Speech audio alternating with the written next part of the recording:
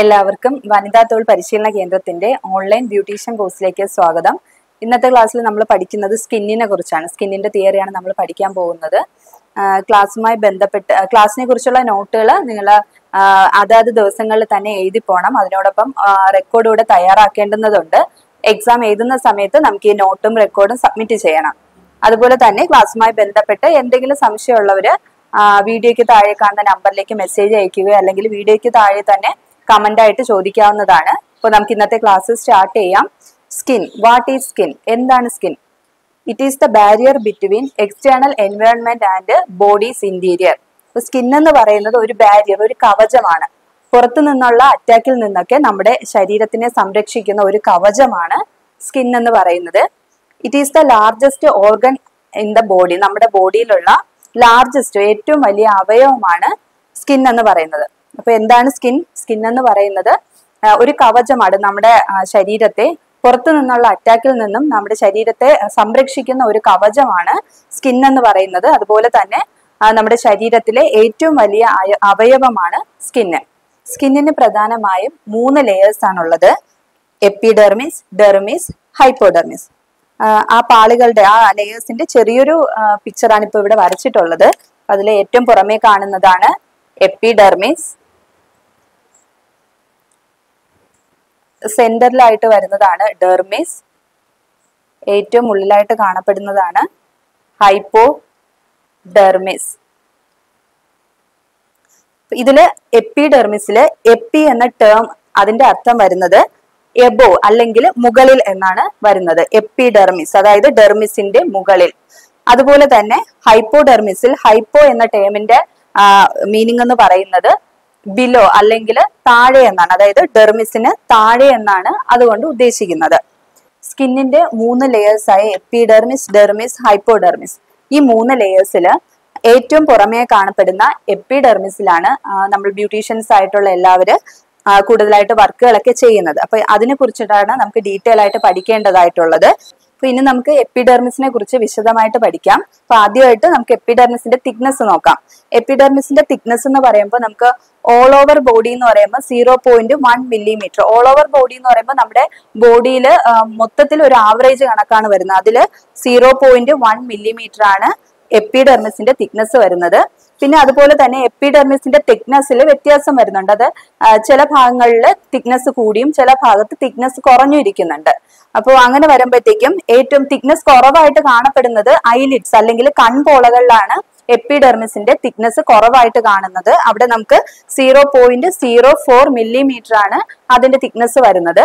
പിന്നെ തിക്നെസ് കൂടുതലായിട്ട് കാണപ്പെടുന്നത് പാംസിലും പാംസ് എന്ന് പറയുമ്പോൾ നമുക്ക് കൈപ്പത്തിയിലും കാൽപാദത്തിലൊക്കെയാണ് അതിന്റെ തിക്നെസ് കൂടുതലായിട്ട് വരുന്നത്. അത് വൺ പോയിന്റ് സിക്സ് മില്ലിമീറ്റർ ആണ് അതിന്റെ തിക്നെസ് വരുന്നത്. എപ്പിഡെർമിസിൽ സെല്ലുകൾ അല്ലെങ്കിൽ കോശങ്ങൾ കാണപ്പെടുന്നുണ്ട്. അപ്പൊ അവയിൽ നമുക്ക് പ്രധാനപ്പെട്ട ഒരു സെല്ലാണ് കെരാറ്റിനോസൈറ്റ്. കെരാറ്റിനോസൈറ്റ് എന്ന് പറയുന്ന സെല്ല് കെരാറ്റിൻ എന്ന് പറയുന്ന ഒരു പ്രോട്ടീനെ പ്രൊഡ്യൂസ് ചെയ്യുന്നുണ്ട്. ഏതാണ്? കെരാറ്റിനോസൈറ്റ് എന്ന് പറയുന്ന സെല്ല് കെരാറ്റിൻ എന്ന് പറയുന്ന ഒരു പ്രോട്ടീനെ പ്രൊഡ്യൂസ് ചെയ്യുന്നുണ്ട്. ഈ പ്രോട്ടീൻ നമ്മുടെ സ്കിന്നിനെ നല്ല ടൈറ്റ് ആക്കാനും അതുപോലെ തന്നെ നമ്മുടെ ബോഡിയുടെ ഉള്ളിലോട്ടും പുറത്തോട്ടുമുള്ള സബ്സ്റ്റൻസിന്റെ ഒഴുക്കിനെ റെഡ്യൂസ് ചെയ്യാനായിട്ടാണ് സഹായിക്കുന്നത്. അപ്പോൾ ഈ കെരാറ്റിൻ നമ്മൾ എന്തൊക്കെയാണ് ഹെൽപ്പ് ചെയ്യുന്നത്? നമ്മുടെ സ്കിന്നിനെ ടൈറ്റ് ആക്കാനും അതുപോലെ തന്നെ നമ്മുടെ ബോഡിയുടെ ഉള്ളിലോട്ടും പുറത്തോട്ടുമുള്ള സബ്സ്റ്റൻസിന്റെ ഒഴുക്കിനെ റെഡ്യൂസ് ചെയ്യാൻ അതായത് കുറയ്ക്കാനായിട്ട് സഹായിക്കുന്നത് ഈ കെരാറ്റിൻ ആണ്. എപ്പിഡെർമിസ് എന്ന് പറയുന്നത് it is the outermost covering of the body നമ്മുടെ ബോഡിയുടെ ഏറ്റവും പുറമേ കാണപ്പെടുന്ന ഒരു പാളിയാണ് എപ്പിഡെർമിസ് എന്ന് പറയുന്നത്. It is divided into five layers എപ്പിഡെർമിസിനെ അഞ്ച് ലെയേഴ്സ് ആയിട്ട് തരംതിരിച്ചിട്ടുണ്ട്. Each layer of epidermis is recognised by shape of the cells and its function അതായത് ഈ എപ്പിഡെർമിസിലുള്ള ഓരോ ലെയേഴ്സും അതിലുള്ള സെൽസ് അതായത് കോശങ്ങളുടെ ഘടന അനുസരിച്ചും അതുപോലെ അതിന്റെ പ്രവർത്തനത്തെ അടിസ്ഥാനമാക്കിയിട്ടാണ് തരംതിരിച്ചിട്ടുള്ളത്.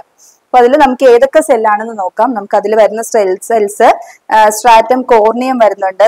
Stratum lucidum stratum granulosum stratum spinosum stratum basale അപ്പൊ ഇപ്പൊ ഇത് എഴുതിയിരിക്കുന്നത് നമ്മുടെ എപ്പിഡെർമിസിന്റെ ഏറ്റവും താഴെയായിട്ട് കാണപ്പെടുന്ന ലെയർ മുതൽ ഏറ്റവും പുറമെ കാണുന്ന ലെയർ അനുസരിച്ചിട്ടാണ് ഇപ്പൊ ഇവിടെ എഴുതിയിട്ടുള്ളത്. അപ്പൊ അത് ഓരോ ലെയേഴ്സും എങ്ങനെയാണ് അതിന്റെ സെൽസും അതിന്റെ പ്രവർത്തനങ്ങൾ എന്തൊക്കെയാണെന്ന് വിശദമായിട്ട് ഇനി നമുക്ക് നോക്കാം. അതിൽ ഫസ്റ്റ് ലെയർ ആയിട്ടുള്ള സ്ട്രാറ്റം ബേസാലെ കുറിച്ച് നമുക്ക് ആദ്യം നോക്കാം. Stratum basale it is the germinating layer of epidermis എപ്പിഡെർമിസിലുള്ള germinating layer ആണ് ഈ സ്ട്രാറ്റം ബേസാലെ എന്ന് പറയുന്നത്. ജെർമിനേറ്റിംഗ് ലെയർ എന്ന് പറയുമ്പോൾ നമ്മുടെ ഈ സ്ട്രാറ്റം ബേസാലയിലുള്ള സെൽസ് പുനരുൽപാദിപ്പിച്ചുകൊണ്ടാണ് ഇരിക്കുന്നത്. അതായത് കോശങ്ങൾ വിഭജിച്ച് വിഭജിച്ച് വിഭജിക്കുകയും പുതിയ പുതിയ സെല്ലുകൾ രൂപപ്പെട്ടുകൊണ്ടിരിക്കുകയും ചെയ്യുന്ന ഒരു ലെയർ ആണ് സ്ട്രാറ്റം ബേസാല എന്ന് പറയുന്നത്. ഇറ്റ് ഈസ് കണ്ടിന്യൂസ്ലി മൾട്ടിപ്ലൈ ഇതിലുള്ള സെൽസ് കണ്ടിന്യൂസ് ആയിട്ട് വിഭജിച്ചു കൊണ്ടാണ് ഇരിക്കുന്നത്. ഈ ഒരു ലെയർ ഫോം ചെയ്തിരിക്കുന്നത് single layer of columnar cells കൊണ്ടാണ്. Single layer of columnar cells കൊണ്ടാണ് നമ്മുടെ ഈ സ്ട്രാറ്റം ബേസാല എന്ന് പറയുന്ന ഈ ഒരു ലെയർ ഫോം ചെയ്തിരിക്കുന്നത്. ഈ കോളമിനാർ സെൽസ് റെസ്റ്റ് ചെയ്യുന്നത് ബേസ്മെന്റ് മെമ്മറേൻ എന്ന് പറയുന്ന ഈ ഒരു ലെയർ ഭാഗത്താണ് ഈ കോളമിനാർ സെൽസ് റെസ്റ്റ് ചെയ്യുന്നത്. ബേസ്മെന്റ് മെമ്മറേൻ എന്ന് പറയുന്നത് എപ്പിഡെർമോ ഡെർമിനൽ ജംഗ്ഷനെയാണ് ബേസ്മെന്റ് മെമ്മറൈൻ എന്ന് പറയുന്നത്. എപ്പിഡെർമോ ഡെർമിനൽ ഡെർമിനൽ ജംഗ്ഷൻ എന്ന് പറയുന്നത് നമ്മുടെ എപ്പിഡെർമിസും ഡെർമിസും ചേരുന്ന ഈ ഒരു ഭാഗത്തെയാണ് എപ്പിഡെർമോ ഡെർമിനൽ ജംഗ്ഷൻ എന്ന് പറയുന്നത്. അതിനെ ബേസ്മെന്റ് മെമ്മറൈൻ എന്നും പറയുന്നുണ്ട്. ബേസ്മെന്റ് മെമ്മറൈൻ എന്നാണ് പറയുന്നത്. ഈ എപ്പിഡെർമൽ സെൽസ് മെച്ചുറായി കൂടുതലായിട്ട് കെരാറ്റിൻ പ്രൊഡ്യൂസ് ചെയ്യും. അപ്പൊ നമ്മൾ നേരത്തെ കെരാറ്റിനെ കുറിച്ച് പറഞ്ഞായിരുന്നു. കെരാറ്റിനോസൈറ്റ്സ് എന്ന് പറയുന്ന സെൽസ് നമ്മുടെ എപ്പിഡെർമസിൽ കാണുന്നുണ്ട്. ആ കെരാറ്റിനോസൈറ്റ്സ് പ്രൊഡ്യൂസ് ചെയ്യുന്ന പ്രോട്ടീൻ ആണ് കെരാറ്റിൻ അപ്പോൾ ആ പ്രോട്ടീന് നമുക്ക് ഇവിടെ ഈ നമ്മുടെ സ്ട്രാറ്റം ബേസാലെ ലെയറിൽ നമുക്ക് ആ പ്രോട്ടീൻ അവിടെ പ്രൊഡ്യൂസ് ചെയ്യുന്നുണ്ട്. നമുക്ക് കെരാറ്റിൻ പ്രൊഡ്യൂസ് ആവുകയും അതിനോടൊപ്പം തന്നെ അവിടെയുള്ള സെല്ലുകൾ മെച്ചറായി അടുത്ത് മുകളിലോട്ട് മുകളിലത്തെ ലെയറിലോട്ട് മൂവും ചെയ്യുന്നുണ്ട്. അപ്പോ ഈ ഒരു ലെയർ അതായത് സ്ട്രാറ്റം ബേസാലയിൽ നമുക്ക് ജെർമിനേറ്റിംഗ് ലെയർ ആണ്. അതായത് പുതിയ കോശങ്ങൾ രൂപപ്പെട്ടുകൊണ്ടിരിക്കുന്ന ഒരു ലെയറാണ് സ്ട്രാറ്റം ബേസാലെ എന്ന് പറയുന്നത്. കണ്ടിന്യൂസ് ആയിട്ട് അതിൽ കോശങ്ങളുടെ വിഭജനം നടക്കുകയാണ്. ഈ ബേസാലെ എന്ന് പറയുന്ന ലെയർ നിർമ്മിച്ചിരിക്കുന്നത് കോളമിനാർ സെൽസ് കൊണ്ടാണ് നിർമ്മിച്ചിരിക്കുന്നത്. ഈ കോളമിനാർ സെൽസ് റെസ്റ്റ് ചെയ്യുന്നത് ഒരു ബേസ്മെന്റ് മെമ്പറൈനിലാണ് ബേസ്മെന്റ് മെമ്പറൈൻ എന്ന് പറയുന്നത് നമ്മുടെ എപ്പിഡെർമിസും ഡെർമിസും കൂടിച്ചേരുന്ന ആ ഒരു ഭാഗത്തെയാണ് ബേസ്മെന്റ് മെമ്മറൈൻ എന്ന് പറയുന്നത്. പിന്നെ ഇനി വരുന്നത് നമുക്ക് ഇതിൽ തന്നെയുള്ള സെൽസ് ഇതിലുള്ള സെൽസ് മെച്ചർ ആവുകയും പിന്നെ അതോടൊപ്പം തന്നെ ഈ ഒരു ലെയറിൽ നമുക്ക് കെരാറ്റിൻ പ്രൊഡ്യൂസ് ചെയ്യുന്നുണ്ട്. മെച്ചർ ആകുന്ന സെൽസ് നമുക്ക് ഇവിടെ നിന്ന് മൂവ് ചെയ്ത് അടുത്ത ഒരു ലെയറിലേക്ക് പോകുന്നുണ്ട്. അപ്പൊ ഇത്രയും കാര്യങ്ങൾ നിങ്ങൾക്ക് മനസ്സിലായെന്ന് തോന്നുന്നു.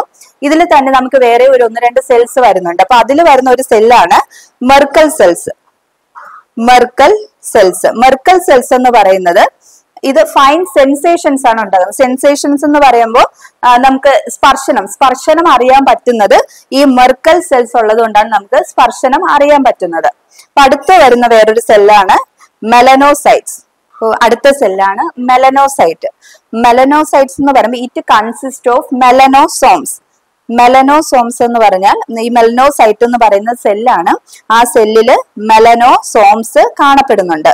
ഈ മെലനോസോംസ് ആണ് മെലാനിൻ എന്ന് പറയുന്ന പിഗ്മെന്റ് പ്രൊഡ്യൂസ് ചെയ്യുന്നത്. മെലാനിൻ എല്ലാവർക്കും പരിചയ പരിചയമുള്ള വേർഡായിരിക്കും ഈ മെലാനിൻ ഉത്പാദിപ്പിക്കുന്നത് ഈ മെലനോ സോംസ് ആണ്. മെലാനിൻ എന്ന് പറയുന്ന പിഗ്മെന്റിനെ പ്രൊഡ്യൂസ് ചെയ്യുന്നത്. മെലാനിൻ നമുക്ക് രണ്ട് ടൈപ്പ് മെലാനിൻ വരുന്നുണ്ട്. രണ്ട് ടൈപ്പ് മെലാനിൻ എന്ന് പറയുമ്പോൾ യു മെലോ യു മെലാനിനും ഫ്യൂ മെലാനിൻ എന്നും പറഞ്ഞ് രണ്ട് മെലാനിൻ അവിടെ പ്രൊഡ്യൂസ് ചെയ്യുന്നുണ്ട്. അപ്പൊ അതിൽ യു മെലാനിൻ എന്ന് പറയുമ്പോൾ ഒരു ബ്രൗൺ ടു ബ്ലാക്കിഷ് പിഗ്മെന്റ് ആണ് അതിൽ വരുന്നത്. ഫ്യൂ മെലാനിൻ ആകുമ്പോഴത്തേക്കും യെല്ലോ ടു റെഡ് പിഗ്മെന്റ് ആണ് നമുക്ക് അതിൽ നിന്ന് ലഭിക്കുന്നത്. ഇപ്പോ ആ, ആദ്യത്തെ അതായത് യു മെലാൻ എന്ന് പറയുമ്പോൾ നമ്മുടെ ഇവിടെ ഈ ഇന്ത്യ ഇങ്ങോട്ടുള്ള ഇന്ത്യയിലൊക്കെ ഉള്ള ആൾക്കാരുടെ ബോഡിയിൽ കൂടുതലായിട്ട് കാണപ്പെടുന്നത് യു മെലാനിനാണ് അതായത് ഒരു ബ്രൗൺ ടു ബ്ലാക്കിഷ് പിഗ്മെന്റ് ആണ് കൂടുതൽ കാണുന്നത്. കുറച്ച് ഫോറിനേഴ്സിനായാണ് നമുക്ക് ഈ യു മെലാനിൻ കാണപ്പെടുന്നത്. അവർക്ക് വരുമ്പോഴത്തേക്കും ഫെയർ ആയിട്ടുള്ള കളറല്ലേ കൂടുതലായിട്ട് വരുന്നത്. അപ്പം അവരുടെ ബോഡിയിലാണ് കൂടുതലായിട്ടും ഫ്യൂ മെലാനിൻ കാണപ്പെടുന്നത്. ഇപ്പോ ഈ മെലാന്റെ ഫങ്ഷൻസ് എന്ന് പറയുമ്പോഴത്തേക്കും നമ്മുടെ സ്കിന്നിന് കളർ നൽകുന്നതാണ് ഒരു ഫങ്ഷൻ വരുന്നത്. പിന്നെ അതിന് അതോടൊപ്പം തന്നെ സണ്ണിൽ നിന്ന് വരുന്ന യു വി ലൈറ്റിനെ പ്രൊട്ടക്ട് ചെയ്യാൻ വേണ്ടിയും ഈ മെലാൻ നമ്മളെ ഹെൽപ്പ് ചെയ്യുന്നുണ്ട്. അപ്പോ മെലാനിനെ കുറിച്ച് എല്ലാവർക്കും ഇപ്പൊ മനസ്സിലായി. അപ്പൊ നമ്മൾ ആദ്യം നേരത്തെ കെരാറ്റിൻ പഠിച്ചു. അതുപോലെ നമുക്ക് അത്യാവശ്യമായിട്ടുള്ള ഒരു കാര്യമാണ് ഈ മെലാനിനും അപ്പോൾ മെലാനിൻ നമുക്ക് എങ്ങനെയാണ് കിട്ടുന്നത് മെലാനിൻ മെലനോ മെലാനോസോംസ് ആണ് മെലാനിൻ പ്രൊഡ്യൂസ് ചെയ്യുന്നത്. മെലാനിൻ രണ്ട് ടൈപ്പ് ഉണ്ട്. യു മെലാനിനും ഉണ്ട് ഫ്യൂ മെലാനിനും ഉണ്ട്. യു മെലാൻ എന്ന് പറയുമ്പോഴത്തേക്കും ഒരു ബ്രൗൺ ടു ബ്ലാക്കിഷ് പിഗ്മെന്റ് ആണ് വരുന്നത്. ഫ്യൂ മെലാനിൻ വരുമ്പോൾ yellow to red red red pigment ആണ് അതിൽ നിന്ന് വരുന്നത്. മെലാനിന്റെ ഫങ്ഷൻസ് എന്ന് പറയുമ്പോഴത്തേക്കും നമ്മുടെ സ്കിന്നിന് നിറം നൽകാനായിട്ട് മെലാനിൻ ഹെൽപ്പ് ചെയ്യുന്നുണ്ട്. അതോടൊപ്പം തന്നെ സൂര്യയിൽ നിന്ന് വരുന്ന അൾട്രാവയലറ്റ് അൾട്രാവയലറ്റ് കിരണങ്ങളിൽ നിന്ന് നമുക്ക് പ്രൊട്ടക്ഷനും തരുന്നുണ്ട്. അപ്പോൾ അടുത്ത് നമുക്ക് അടുത്ത സെല്ല് നോക്കാം. അടുത്ത സെല്ല് നമ്മൾ പഠിക്കേണ്ടുന്നത് സ്ട്രാറ്റം സ്പൈനോസം എന്ന് പറയുന്ന സെല്ലാണ് അടുത്ത് നമുക്ക് പഠിക്കേണ്ടതായിട്ടുള്ളത്. Stratum spinosum it contain polygonal cells and the cells are connected by desmosomal bridges അപ്പൊ ഇതിൽ സ്ട്രാറ്റം സ്പൈനോസത്തിൽ നമുക്ക് പോളിഗണൽ സെൽസ് ആണ് കാണപ്പെടുന്നത്. അപ്പൊ നമ്മൾ ലേയേഴ്സിനെ കുറിച്ച് ആദ്യം പഠിച്ചപ്പോൾ പറഞ്ഞായിരുന്നു. ഓരോ ലേയേഴ്സും നമ്മൾ അതിൽ കാണപ്പെടുന്ന കോശങ്ങളുടെ ഘടനയും ആ കോശങ്ങളുടെ പ്രവർത്തന അടി പ്രവർത്തനത്തെയും അടിസ്ഥാനമാക്കിയാണ് ഓരോ ലേയേഴ്സും നമ്മൾ തിരിച്ചിട്ടുള്ളത്. അപ്പോൾ നമുക്ക് സ്ട്രാറ്റം സ്പൈനോസത്തിൽ നമുക്ക് കാണപ്പെടുന്നത് പോളിഗണൽ സെൽസ് ആണ് കാണപ്പെടുന്നത്. ഇത് നമുക്ക് ഓരോ സെൽസും കണക്ട് ചെയ്തിരിക്കുന്നത് ഡെസമൽ സോമൽ ബ്രിഡ്ജസ് വഴിയാണ് ഓരോ സെൽസും കണക്ട് ചെയ്തിരിക്കുന്നത്. അപ്പൊ നമ്മുടെ ഇത് കണക്ട് ചെയ്തിരിക്കുന്ന ഡെസമസോമൽ ബ്രിഡ്ജസ് എന്ന് പറയുന്നത് cells connecting ഇൻട്രസ് intercellular adhesion is called desmosomal bridges ഓരോ സെൽസും പരസ്പരം കണക്ട് ചെയ്തിരിക്കുന്ന ആ ഒരു അഡ്ഹഷൻ അഡ്ഹഷൻ ചേർന്നിരിക്കുന്നതിനെയാണ് പറയുന്നത്. ആ ഒരു അഡ്ഹഷനെയാണ് ഡെസമസോമൽ ബ്രിഡ്ജസ് എന്ന് പറയുന്നത്. അപ്പോൾ ഇതിനെ നമ്മൾ മൈക്രോസ്കോപ്പിൽ നോക്കുകയാണെങ്കിൽ നമുക്ക് സ്പൈൻസ് ആയിട്ടാണ് കാണാൻ കഴിയുന്നത്. അതായത് ഇത് ഇത് ചേർന്നിരിക്കുന്ന അതായത് ആ അഡ്ഹഷൻ നമ്മൾ മൈക്രോസ്കോപ്പിൽ നോക്കുമ്പോഴത്തേക്കും സ്പൈൻസ് സ്പൈൻസ് എന്ന് പറയുമ്പോൾ ചെറിയ ചെറിയ മുള്ളുകളായിട്ടാണ് നമുക്ക് അതിൽ കാണാൻ കഴിയുന്നത്. അപ്പൊ അങ്ങനെ ഒരു മുള്ളുകൾ പോലെ സ്പൈൻസ് പോലെ അത് കാണുന്നതിന് കാണുന്നത് കൊണ്ടാണ് ഈ ഒരു ലെയറിനെ നമ്മൾ സ്ട്രാറ്റം സ്പൈനോസം എന്ന് പറയുന്നത്. സ്ട്രാറ്റം സ്പൈനോസം എന്നും നമ്മൾ പറയും. പിന്നെ അല്ലാതെ വേറൊരു പേരൂടെ വരുന്നുണ്ട്. Prickle cell layer. Prickle cell layer എന്ന് നമ്മൾ ഇതിനെ പറയുന്നുണ്ട്. നമ്മളിപ്പോ ആദ്യം പഠിച്ച ലെയർ സ്ട്രാറ്റം ബേസാലയാണ്. അപ്പോൾ അതിൽ നമുക്ക് കോളമിനാർ സെൽസ് ആണ് വരുന്നത്. പിന്നെ അടുത്ത് രണ്ടാമതായിട്ട് നമ്മൾ പഠിച്ചത് സ്ട്രാറ്റം സ്പൈനോസം ലെയർ ആണ്. അതിൽ പോളിഗണൽ സെൽസ് ആണ് വരുന്നത്. അടുത്ത് നമുക്ക് സ്ട്രാറ്റം ഗ്രാനുലോസം നോക്കാം. Stratum granulosum.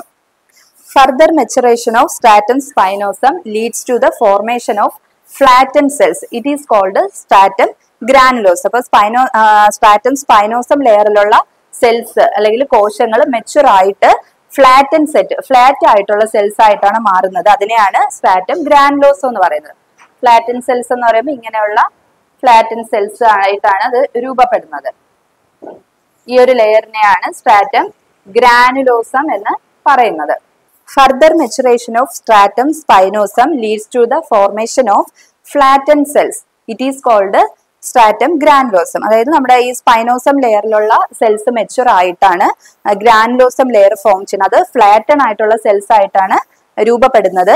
They are seen as keratin hyaline granules keratin hyaline granules എന്ന് പറയുന്നത് it prevent the loss of body fluid and acts as waterproof barrier അതായത് ഈ സ്റ്റാറ്റം ഗ്രാനുലോസം കാണപ്പെടുന്നത് കെരാറ്റിൻ ഹൈലൈൻ ഗ്രാനുൾസ് ആയിട്ടാണ് കാണപ്പെടുന്നത്.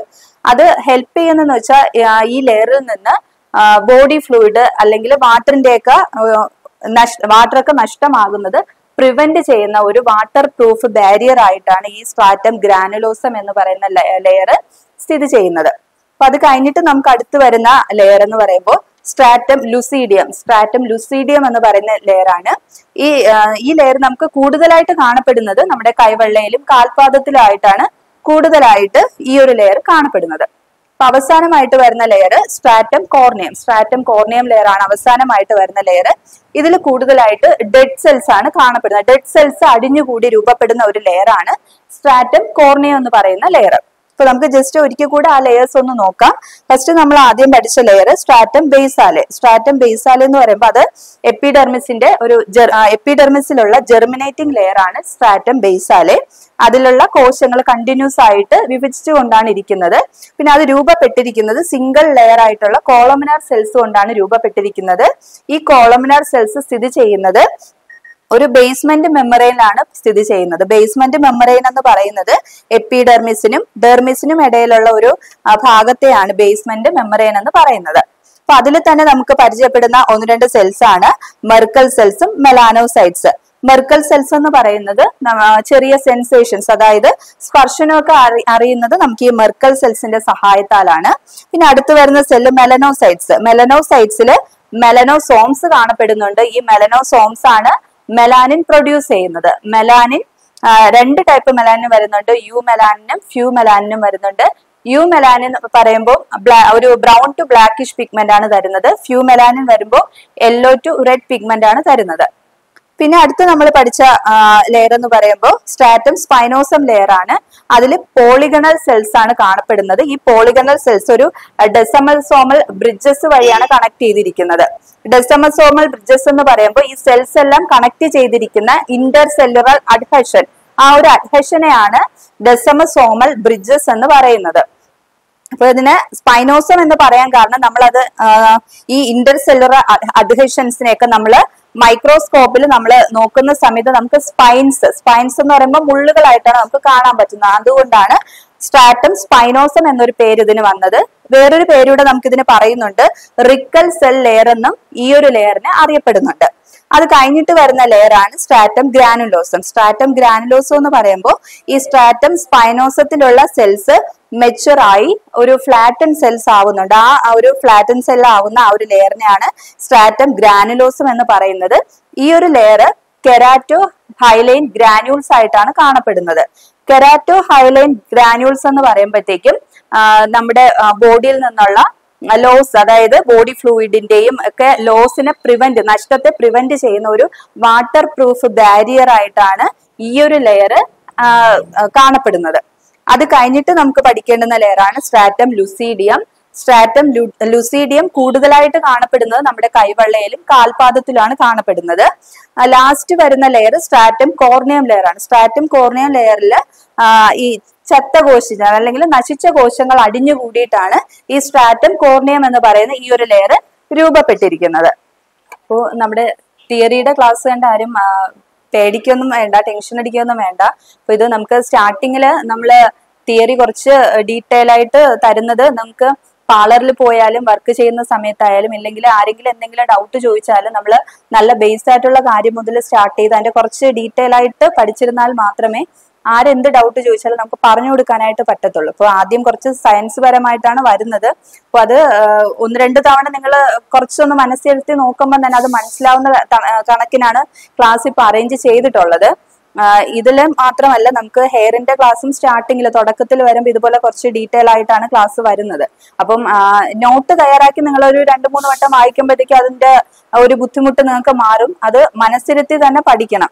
വെറുതെ കാണാപ്പാടം പഠിച്ചു വയ്ക്കാതെ എന്താണ് കറക്റ്റ് അത് എന്താണ് എങ്ങനെയാണെന്ന് പഠിച്ചാൽ മാത്രമേ നമുക്കത് ഒരിക്കലും മറന്നു പോവാതിരിക്കും. ആരെന്ത് ഡൗട്ട് ചോദിച്ചാലും നമുക്ക് അത് തന്നെ പറഞ്ഞു കൊടുക്കാൻ പറ്റും. അപ്പൊ ഇതിൽ മിക്ക ഇടയ്ക്കുള്ള ഒന്ന് രണ്ട് പേരുകൾ നിങ്ങൾ കേട്ടിട്ടുണ്ടായിരിക്കും. ഈ കെരാറ്റിൻ മെലാനിൻ അങ്ങനെയുള്ള കാര്യങ്ങളൊക്കെ കേട്ടിട്ടുണ്ടായിരിക്കും. അപ്പോൾ ഓരോരുത്തരുടെ നിറം അനുസരിച്ചും അങ്ങനെയുള്ള കാര്യങ്ങളൊക്കെ ആരെങ്കിലും ചോദിക്കുമ്പോഴത്തേക്കും നമുക്ക് പറഞ്ഞു കൊടുക്കാൻ ഇങ്ങനെയുള്ള കാര്യങ്ങൾ അറിഞ്ഞിരുന്നാലേ പറ്റൂ. അതായത് മെലാനിൻ എന്ന് പറയുന്നത് നമുക്ക് നമ്മുടെ ശരീരത്തിന് നിറം കൊടുക്കുന്ന വർണ വസ്തുവാണ് മെലാനിൻ. അപ്പൊ അതാരെങ്കിലും നമ്മളെടുത്ത് ഇതുപോലെ "നാ, നിങ്ങൾ ബ്യൂട്ടീഷ്യൻ പഠിക്കുന്നതല്ലേ? എന്താണ് ഇത്? മെലാനിൻ എന്ന് വെച്ചാൽ എന്തോന്നാണ്? കെരാറ്റിൻ എന്ന് വെച്ചാൽ എന്തോന്നാണെന്ന് ചോദിച്ചാലും നമ്മൾ ഇതെന്താണെന്ന് നമ്മൾ അറിഞ്ഞിരുന്നാൽ മാത്രമേ അവർക്ക് പറഞ്ഞു കൊടുക്കാൻ പറ്റൂ. അപ്പം ഇങ്ങനെയുള്ള കാര്യങ്ങൾ എന്തായാലും നിങ്ങൾ നോട്ട് ചെയ്ത് തന്നെ അത് മനസ്സിലാക്കി തന്നെ പഠിച്ചു വെച്ചിരിക്കണം. അപ്പം എന്തെങ്കിലും ഇന്നത്തെ ക്ലാസ്സിൽ എന്തെങ്കിലും ഡൗട്ട് ഉണ്ടെങ്കിൽ നിങ്ങൾക്ക് വീഡിയോയിൽ കാണുന്ന നമ്പറിലേക്ക് മെസ്സേജ് അയക്കുകയോ അല്ലെങ്കിൽ വീഡിയോയ്ക്ക് താഴെ കമന്റ് ആയിട്ട് തന്നെ രേഖപ്പെടുത്തുകയോ ചെയ്യാം. ഓരോ ദിവസമുള്ള ക്ലാസ്സുകൾ കറക്റ്റായിട്ട് നോട്ട് ചെയ്ത് തന്നെ പോകണം അപ്പോൾ നമുക്ക് ലാസ്റ്റ് എക്സാം എഴുതുന്ന സമയത്ത് ഇതിന്റെ നോട്ടും പിന്നെ അതുപോലെ റെക്കോർഡൊക്കെ സബ്മിറ്റ് ചെയ്യണം. അപ്പൊ ആദ്യമേ തന്നെ നമുക്ക് അതനുസരിച്ച് നോട്ടുകളൊക്കെ എഴുതി പോയാൽ മാത്രമേ എക്സാമിന്റെ സമയത്ത് അത് കറക്റ്റായിട്ട് സബ്മിറ്റ് ചെയ്യാനൊക്കെ പറ്റത്തുള്ളൂ. അപ്പോൾ ഇനി നമുക്ക് വരും ദിവസങ്ങളിൽ ഇനി കുറച്ചുകൂടെ തിയറിയുടെ തന്നെ കുറച്ചുകൂടെ നോട്ടുകൾ നമുക്കിനി പഠിക്കാനുണ്ട്. അത് കഴിഞ്ഞിട്ടായിരിക്കും നമുക്ക് അടുത്ത് പ്രാക്ടിക്കലിന്റെ സെക്ഷൻ വരുന്നത്. പ്രാക്ടിക്കൽ വരുമ്പോൾ വെറും പ്രാക്ടിക്കൽ മാത്രമല്ല അതിനെ കുറിച്ചിട്ടുള്ള തിയറിയും വരുന്നുണ്ട്. അതിനോടൊപ്പം അതിന്റെ പ്രാക്ടിക്കലും എല്ലാം തന്നു തന്നെയായിരിക്കും ക്ലാസ്സുകളൊക്കെ വരുന്നത്. അപ്പോൾ ഇന്ന് പഠിപ്പിച്ചിട്ടുള്ള ക്ലാസ്സുകൾ എല്ലാവരും നല്ല രീതിയിൽ തന്നെ പഠിക്കുക. എല്ലാവർക്കും നല്ലൊരു കരിയർ ആശംസിച്ചുകൊണ്ട് ഇന്നത്തെ ക്ലാസ് നിർത്തുന്നു. നന്ദി നമസ്കാരം.